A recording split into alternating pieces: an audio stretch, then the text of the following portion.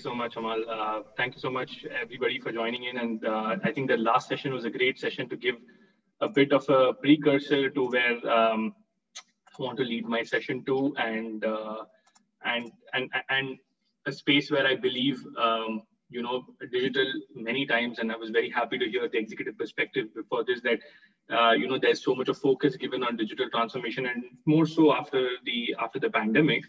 Uh, just to identify and keep staying and reiterating that you know simplification is important uh, and to identify digital is to not just look at it as a checkbox right? Uh, and the reason why i say this is uh, is very important uh, i mean I, I, will take you guys through the slides. I think the presentation today first to give a little bit of my background um, so I, I, go by sid iyer my name is Siddhaarth. You can uh, very very akin to my my role being a digital person i've put a qr code for everybody to kind of scan uh, to uh, to connect with me on linkedin so please please feel free to connect with me on linkedin by scanning this qr code um, I'm, uh, I lead the digital strategy uh, at AXA Gulf, working on the quick win solution base as well as the transformation activities. Um, I am I am I am a disruptor startup guy from my background. I've worked in the uh, and I'm and I'm pretty much industry agnostic. Uh, this is the first time I'm spending time in insurance. I've been with with uh, with AXA for three years now, and um, I've built quite a bit of technology products, and they're probably used by more than three million users today worldwide across all geographies. Uh, apart from this, um, I, I, had my own uh, e-commerce entertainment startup uh, in the UAE, which did not succeed, uh, unfortunately. But I learned a lot from that failure, and uh, and and uh, that's what gets me excited every day to build new products and new solutions with that same level of passion. Um, just to just to give a little bit of background about today's presentation, I'm going to focus a little bit of I'm going to get my be a little more hands-on and get our hands dirty on how uh, digital should be built, what is the process around it, what are the different ways you'll go ahead and build digitals, and some tools and techniques that, that one could use to build them. So it's a very uh, so my my focus will be to give more detailed present uh, views on, on on digital building and digital transformation strategies. Right. Um, I always want to I, I love to start with this disruptive saying uh, by the the Darwin's theory or Darwin's saying, which talks about the strongest species or the most intelligent species don't survive. The most adaptable species, the folks who are more ready to change, are the ones who survive. So it's super important that change is being. It's it's always it's a cliche term that change is always uh, the the only constant. I think as as people, as professionals, we are also very very fearful of change. So I think uh, to survive and to move on and to grow in this kind of a setup and environment, I think it's super important to be ready and to have this mindset of change. I think one of the biggest uh, I, I, people have become more resilient to change after covid with uh, with working from home with new ways of working and all of that. So agility has become a, a mindset by default for everyone. Um, let's go around a little bit of context around digital acceleration. I like to call it acceleration than transformation. Uh, I think a lot of companies have gone on from the transformation zone. Uh, and at this point of time, with COVID 19 in view, I think it's about acceleration. It's about, of course, looking at the big picture of how do we transform overall, but also looking at the smaller elements of what can you deliver in the short term. So it cannot be a three-year roadmap that you can uh, build for digital transformation. It needs to be piece by piece acceleration that will lead to the larger picture of digital transformation.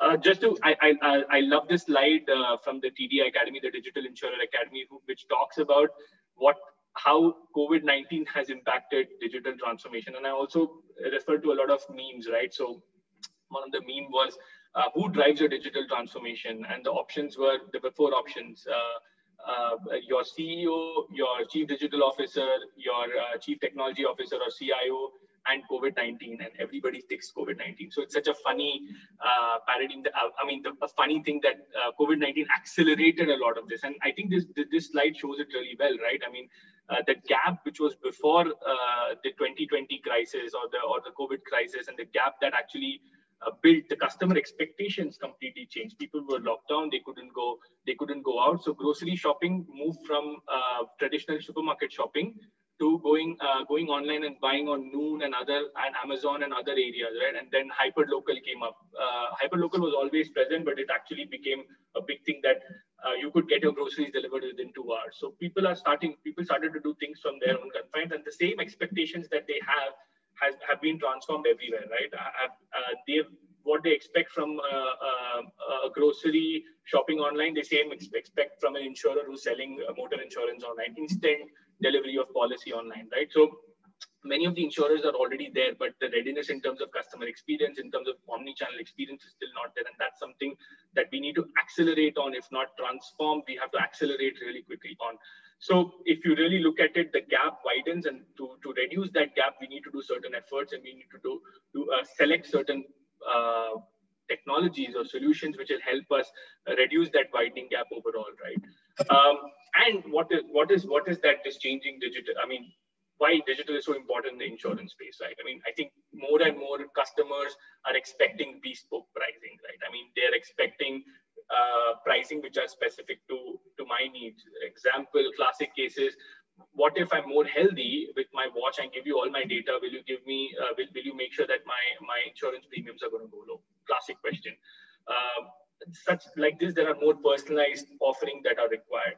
high investments in public transport in the region, which means reduction in car uh, in selling of cars. Now this was happening with COVID-19. This kind of receded, but eventually it will happen, right? I mean, the region will have more and more metros. There'll be rail transport in between, which means that people won't drive as many cars. People won't drive cars as much, which leads me to the other point around moving from motor to mobility insurance. So how do you make sure that you're insured, not just when you're driving a car and not just driving that car, but you're insured overall, right? So how does it uh, insurance of one, like I, uh, like I like to call it, is, is one insurance for everything that I would need for myself. Um, game-changing B2B2C model, I think classic ones. I mean, we've spoken about the uh, uh, specifically the top points on um, pay-as-you-go model with reduction in driving overall. Uh, how does that come in? Uh, and AXA was one of the one of the few folks who actually worked with the the UAE-based insurer, UAE-based uh, company Bima to come up with a with a, with, with, with a product here, which is pay-as-you-go insurance, the first the first of its kind in this market, and then more conscious and more price-sensitive customers, right? With the changing population dynamics, with the with loyalty moving from uh, moving from brand to customer experience and pricing, you see more and more customers being very very price conscious. What do I get out of it? You have to understand that insurance is something that we buy thinking that you will never have to use it, right? You don't buy insurance thinking that I will use it one day for myself. You buy it thinking that you know you don't want to use it. You don't want that eventuality to happen. So these are things that really drive customer mindset, and this is where digital comes in and plays with the customer experience element so important. Uh, some of the advancements in the insurance industry, this is an old slide from 2017, but the expectations from the consumer today are all around, um, you know, giving giving an ecosystem of services as an insurer. Like I said right now, right, you don't expect uh, the insurers to provide you. Uh, you don't want to use the insurance, right? You don't want the eventuality to happen, but you want to touch base. Uh, customers want it, so do so do insurers want it, so that they can sell them more opportunity, uh, more things with them, right? For example, when you buy home insurance, customers are expecting that you give me advice on how do I in install a security camera at my house. Give me a, give me more advice around it. Uh, how what is the emergency support? Do you have an app where I can actually press uh, SOS and then you know uh, the fire service would come in or emergency support can be supported uh, can come in. Similarly on the health side, right? Like I like just I mentioned about the watch. So when you have a watch, will you uh, uh, do you give me healthy living advices? Do you give me access to my health records itself? All of those things, uh, connectivity to uh, uh, connectivity to smart devices, all of these things are something that the customers today expect, right? And some other innovations, right? I mean, people have all heard about State Farm and the way they actually do use Instagram and um, um, and the alternative social media channels to sell a lot, right? And it's all through solid targeting that they do with uh, understanding customers' behavior, understanding customers' cookies, and it, digital is all about not just putting a face out there; it's about how effective that channel is as well. And then I, I don't know if you've heard about Cover Genius, which is a completely API-based platform. So this is a company that got uh, that is an Australian company, uh, works a lot with uh, in the US as well, which focuses purely on making insurance available where the consumers are, which is everyday e-commerce, right? So how do you, how would you see if when you're buying something on Amazon, you can just type in saying, I want to buy car insurance and you get a, a box and a product which says car insurance for this product, for this car, right? With uh, so and just put the age and the prices, pricing changes accordingly. And that's what Cover Genius is looking at. They've started with travel and, and some other basic product, but they will expand it to more generic retail products. And then Liberty Mutual, right? The classic example of how using a driver safety app with a bot enables customers overall. Now, all of this, there's a lot of uh, you know, noise and stuff, right? But uh, typically, what are you looking at? You're looking at building a hook model, right? You're building it. Uh, you know, I, I, I advise everybody to read this book by Nir Eyal called Hooked. It is all about engaging your customers and making sure that you're driving them towards uh, towards being in the same cycle and becoming that loyal, uh, driving that loyalty. So how do you drive that? One is great content. Once the customer buys something from you, give them great content. Give them great opportunity for them to be engaged and come onto your application on a regular That they believe that this, these are this is a brand that gives us a lot of uh, a lot of information, and that will come only through a digital channel, right? Like an app simplify their user experience, right? Ease out the user experience process, reward and recognize and reward the customers on a regular basis for whatever they do. For example, uh, the, the pay as you go driving, give them cash back on driving safe. Uh, the NCD is a classic way, which could be which could be very nicely a non a, non-claim discount or an NCB non-claim bonus uh, it can be actually very nicely marketed as a reward and a recognition to the customer so that the customer understands it better. Today, the customers don't understand. When we did a user research, they didn't understand what NCD means, a lot of them. And profiling and intelligent recommendations, right? At the end of the day, you want to profile customers. This is what State Farm does so well. They profile their prospective customers as well through the through the digital channels and digital media to kind of target and know which customer wants what at that specific given point of time. I'll speak a little bit about AXA, just two slides. Actually, it's um, less less about AXA and more about the other elements uh, overall about how you go about building your digital channel is what I'll speak uh, going forward. But at AXA, we've, we've matured our digital capabilities. Uh, just to give a little bit of background, in the UAE, we piloted and tested home insurance using uh, using Google Maps and uh, very successful. We will be actually piloting and getting that out in Bahrain as well. So you actually don't have to put in all the information. You just pin your location on Google Maps, boom, done, and you are able to get a price and say whether you have an apartment or a villa and uh, or and contents versus uh, contents plus belongings uh, and other thing and the other other add-ons and then you get a price you go ahead and actually go just make the payment right? You don't have to type five six details around where your location is which area all of that right all of this is defined by this omni-channel approach, which basically means that we have, uh, and this is specifically for a direct channel, which is our contact center and our retail outlets. We've got around 10 shops operating all across the region. Um, and uh, we have amazing contact center capabilities where we are available pretty much uh, in some in some places uh, uh, around uh, 15 by 7 15 by 6 so 15 hours available and plus we have our app which allows customers to uh, get all the facilities that they want at their fingertips, right? All of this with ability to buy and renew online as well as claim online. All of this, everything is available online. This is the basics that that one would want to start with, right? So it's not needed to have great big digital transformation to automate a lot of processes. If you're able to give your customers some basics like buy, renew, claim, you automatically reach some level of their expectations to start with, right? And on the partner side, we provide them great white label capabilities, API capabilities where they can integrate and build their own journeys if they need based on their cost and effort as well as their, their complexity of their of their technology landscape.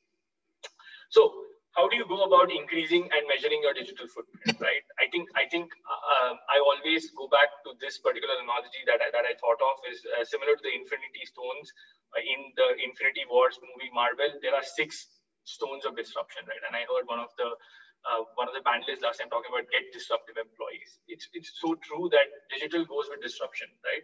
Because today digital as a channel is still considered a disruptive channel. Okay, um, and I think it's important to identify these six areas that you need to focus on. You want to call it gems or you want to call it areas, you can just define it accordingly. The first area is customer, right? I, I define customer and customer experience slightly different because the customer uh, area is the one that owns the customer, owns the customer management and the customer effectiveness, right? So how do you work with the customer? What are the processes that are required for the customer? What do you give the customer on, a, how do you connect with your customers? These are related to the customer element of it and how the customer engages with you is also important the technology aspect, which is what are the technology solutions that you have behind? How is the performance? Experience is driven a lot by how your people are greeting the customers versus also how your technology systems on the online side perform for the customers, how quickly do they perform. The experience elements don't just stop at customer experience, but also user experience. How the digital channels user experience is defined. How do they actually go ahead and um, uh, go ahead and uh, search for you online? Uh, how quickly can they search for you? uh, where do you rank on the SEO, all of that, right? And there's some foundational pillars overall, right? Data, making data more readily available for the customers and for internal use for you to underwrite better, for you to uh, for you to segment better, for you to target better. You can only segment and target customers better if you know your customer personas. And how do you go about building your customer personas is what we'll speak about in, in, in the next in the next slides. The digital capabilities. I consider digital to be the external force pretty much, right? The, the IT teams are pretty much internal focused, trying to make sure that the internal systems are in place and, and all our internal staff are able to be the most productive to provide the best experience for our customers. Digital is external facing for your partners, for your providers, for your customers. Everything that they can do and they can you can automate for them means that that much that much more efficiency you can drive from your internal internal uh, internal staff or internal people, right? And then culture and people. All of these people, like like one of the panelists said earlier, everybody needs to be aligned on the digital transformation plan or roadmap, right? I like to call it a roadmap because I think it's evolving. A plan is pretty much cast in stone, but it's a roadmap. It's evolving, and it's evolving because it's a customer-owned channel. Digital is a customer-owned channel. It's not owned by the company. Customer decides what he wants, and that's what digital. That's what dictates digital roadmaps. So culture and people are super important as well to align, right? They have to feel the same, and they have to drive the same digital thought process, and they need to also talk the same language, and they need they need to be stakeholders in the digital process the model for disruption for me, I mean, to start with as targets for a lot of us, it's to digitize the old, right? So we have a lot of legacy systems. So the first thing is to build that true digital culture and environment by digitizing the old systems that are there from a backend perspective. With the adaptability comes with these six specific areas. If you build them and if you have strong ownership around these things, you can actually look at building that disruption for customer experience, providing new customer experience ways, providing an omni-channel experience for the customer, and disrupting also your business and service models through digitally or through your traditional channels, both ways. So disruption is innovation. Disruption is not just going to be uh, in one in one space that is business and service model. So also has to be in the customer experience side as to how easily can the customer access your channels and how easily the customer is able to go ahead and buy, renew, or claim on your channels, right? Um, again, this is something that I always uh, I say and believe in that it's not about you don't count the number of applications you have. Instead, measure the value each application drives in terms of new users. How many new users actually saw your uh, saw your digital offering? What is the revenue that is de- delivered by a digital offering? And if it's not a revenue churning, if it's a post-sales support act, uh, digital product, define uh, what is the customer experience, what is the NPS, what is the CSAT score if you're not able to measure these things, the value of putting digital solutions out there is zilch. Uh, you need to be able to identify and measure this on a, on, a, on, on a daily basis, and you need to have the experts doing this on a daily basis. Uh, steps to successful digital solution enablement. Now, a lot of there are a lot of ways, right? Uh, and I'll talk about something that I prefer the most is to have teams doing this because you, it's a process of uh, I call it BMR: build, uh, I, uh, and I'll talk a little bit about it. Um, you know, you have to continuously keep um, uh, build, monitor, and uh, uh, replicate, right? Uh, you have to continuously keep doing that and and reiterate it again and again, right? So the first step to the entire process is discovery. The discovery is where you do brainstorming, where you do ideation, you work with your business stakeholders, you make sure that they're aligned to the entire process of what um, what the customer wants. At the same time, what do they want the customer to see or uh, buy, right? Uh, the next step moves to designing. So how do you design your uh, your your uh, your product online, right? So the user experience design is very important. So you document your details, you, you prototype your your designs, and you actually test those prototypes with your customers, right? Develop. Once you have designed this this is the this is the easier phase right? You might develop you might give it to an external third party to develop or you might actually onboard a system from outside. All of this can happen but you have to make sure that the first two phases are done internally because you have the subject matter expertise and you have the domain expertise to kind of understand your customer well. You have the domain expertise to uh, identify what are the needs and the constraints from an internal perspective, compliance, security, and regulatory perspective. You have the understanding of your IT system, so you need to do that very well. The development can happen internally, externally, or you can actually get a, a, a buy a solution off the shelf and customize it, right? And the last one is deployment and monitoring. I think people don't focus a lot on this topic. It's, as I said, effectiveness is really important. You need to know what are your funnels looking like, what are your numbers looking like what are your uh, what is what is your ranking on the seo all this is super important for for you to know whether your digital channel is being uh, effective or not. So measurement is, is key here. Let's look at the discovery step. So the discovery step is basically the step where you understand your business priorities and goals. You do your competitive analysis and customer segmentation. So who are the competition? What capabilities do they have? Do you have to go beyond them? Are you are you building a point POD, point of differentiation, or you're getting to point of parity, POP?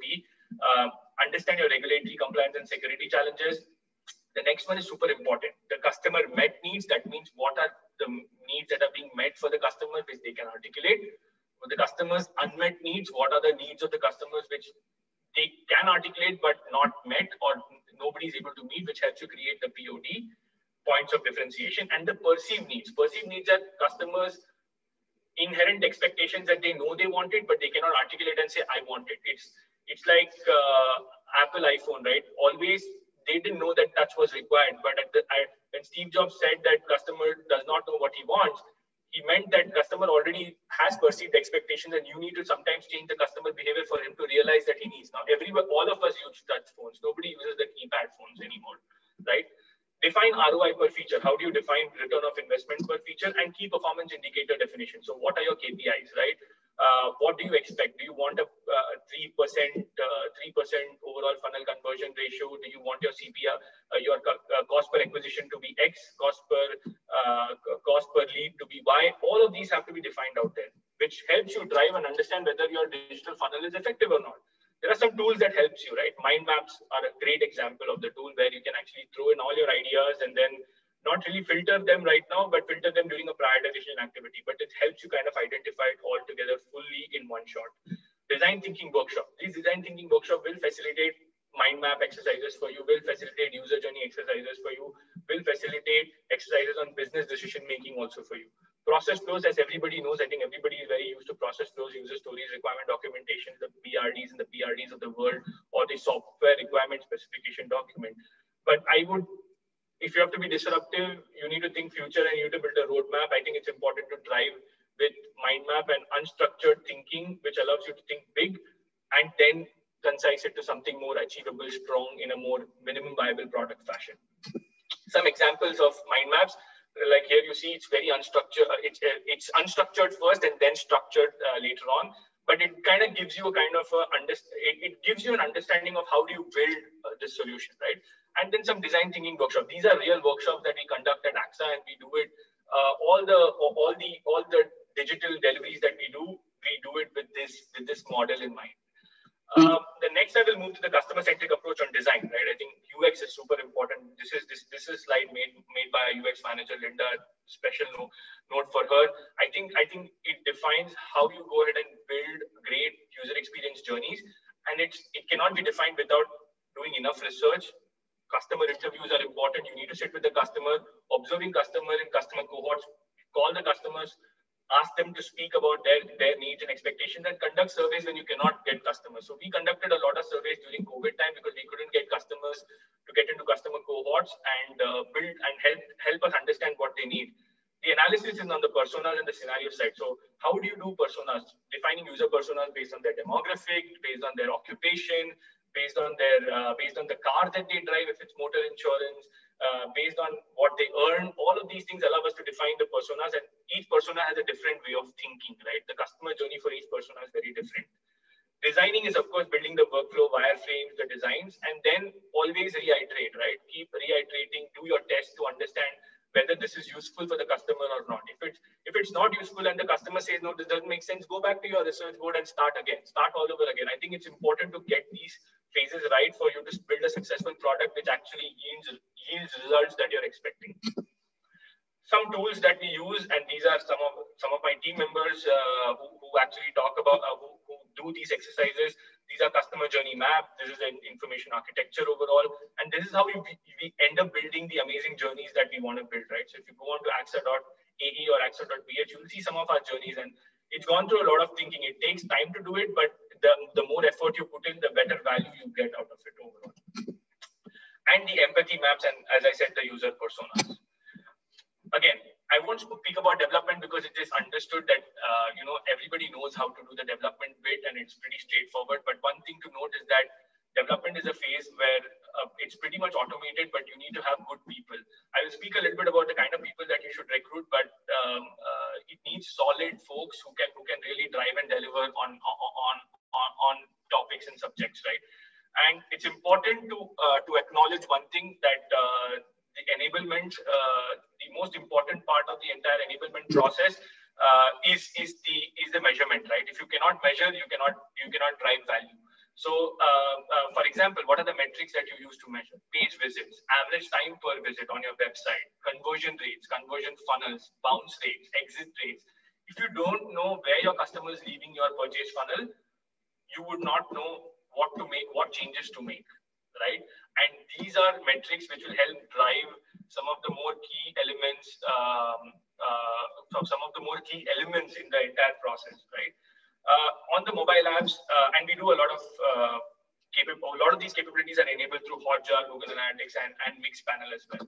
On the mobile apps, you look at how many downloads, registration, monthly, daily, and weekly active users, which means your churn rate, how many people are engaged, how many people are coming back, and the usage of the feature, which feature is used. A lot of time, business stakeholders say, "I need, I need this feature, I need that feature," but when you build it and you actually put it out there, they don't actually get used. So it's important to understand that element as well.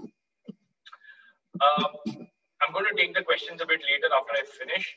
Uh, building the right team to deliver on your digital goals. So it's super important to build a multidisciplinary team. I think the last panel they were talking about what to hire digital and customer experience experts. What kind of people do you hire? You hire disruptors, and these disruptors are not typically the guys that you get in the market easily, right? These are tough people that take. I mean, you have to groom them, and it takes time to get these people overall. Uh, so you have product experts who are product owners, business analysts who are the business focus, right? They work with the business teams, they understand what their requirements are, and translate that, that into more product or digital centric requirements. Uh, these people are super analytical and are driven to innovate, right? And their focus is always return of investment. So let's say if I if I if I invest uh, fifty dollars, uh, five hundred dollars, how much do I get back out of it? So these are the product experts. The user experts are the user experience people, the designers, the Uh, the usability experts, the customer journey mappers, who, who are the and the front end developers, whose job they are the creatives in the house, right? So they think creatively, they think, and their ability is to get everybody together. It's about UX is not a solo approach; it's getting everybody together, right? It's getting the entire company together. These people are sharp, detail-oriented, and constant learners. They want to improve every hour. They are ready to take feedback. They're not going to go back and say, "I'm not going to do this." It's important. These people are super important to the team. Tech experts, geeks of the team who make or break the digital application. So they are the ones who actually will build the application. They need to have the business acumen, but and also look at the big picture because only if you architect a strong solution will it last you long. If you architect a, a, a solution which is not seeing the future, it will last you only for two months or three months. And performance experts, like I spoke about earlier, right? Performance is super important if you have to deliver great digital solutions you need to know. and the performance is what feeds into your future roadmap right so super analytical people people who want to drive who understand customer behavior and who understand digital marketing spend how much to spend how much visibility should be given to this particular channel versus this particular pro product. All of this is is those are those performance experts. Uh, again when selecting the digital team six things that are super important according to me analytical skills their drive to innovate super self driven and motivated. They should be customer obsessed. So like like in the last panel, they said uh, customer focused people are super important, very difficult to find, but they should be obsessed that they want to do the best for the customer. Strong opinions, people who don't hold back, people who say what they have to say. People who are timid will not make disruptions. People who are strong uh, with opinions always will make disruptions and ready to learn. Not going to say, I made a mistake, I failed, okay, I'm ready to learn. It's people who accept failure and are always open to learn are the kind of people that you need always difficult to find these people, but if you find them, you know that these people are somebody who will stick with you and who will who will actually take your digital solution forward if you give them the right uh, if you give them the right strategy. So overall, I want to I want to end the conversation with uh, with some of some of my takeaways that I feel are super important. Do not get drawn by buzzwords. Um, uh, I think it's um, I think it's important to uh, digital transformation is about simplification and not complications, right? So it's it's about simplicity. You want to transform because it's simply, simply simplistic rather than making your entire IT infrastructure uh, super complicated and making it very complex for your customers. Digital, digital enablement is about quality and not quantity. Don't measure how many how many solutions you have. Measure the quality of the solution and how effective they are. There will be always new digital trends. You'll have a chatbot, you'll have a voice, you'll have voice capabilities, you'll have gesture. All of this will change, but basic customer expectations remain the same. They want solutions fast, quick, and they want it immediately. That's it. Uh, digital, as I said, digital is a customer-owned channel. Build it like a product with a roadmap and not a project, not like a project with a plan. I think it's important to understand that digital products and digital solutions evolve with customer expectation and customer behavior. So you need to think about it like a product where the product keeps evolving as you go along and it's got a maturity curve. If it's like a plan, then you will end the project. Digital projects or digital products don't have an end. They keep they keep in, in the recursive cycle and they keep you have to grow them over a period of time, retire them, and get another new product out there make digital a primary uh, primary channel than just another channel. Don't make digital just another channel. Okay, I just put it there, so it's checkbox is done, my website is done, my funnel is done. You know, you have to analyze whether the customers are where the customers are dropping off. If somebody is calling back the customer with a strong research online, purchase offline model, a ROPO model, is somebody uh, are we are we uh, if the customer put a complaint, are we going are, are we uh, uh, aggressively and proactively looking at the complaint and solving the problem all of this is super important. And that's where digital and customer experience merge. And the last point is use the BMR concept, build, measure, reflect. You build something or buy something, you measure that, you measure how effective it is, and then reflect on it and redo or make changes and build the roadmap so that you can actually make change, uh, give the customer what they want and you're in the cycle. Customer expectations keep evolving. So should your digital channel, your pro digital product should also evolve thank you so much, and I'm happy to take questions. Um, okay, so uh, what about feedback has been received from customers on all this work? So uh, uh thanks, Stefan. Um, I think we've got we've got some really good feedback from the customers, specifically on some of our channels that we've built, um, especially on our on on our on our new motor insurance funnel in UAE that we built. Actually, we got really good feedback. Uh, the customer is able to kind of uh, do a do a quote in less than a minute, and uh, our, our conversion percentages also increased drastically. So we got good feedback on all the work, that, and we actually kind of measure and get constant feedback from the customer because it's super important. That what that's what drives back our roadmap overall.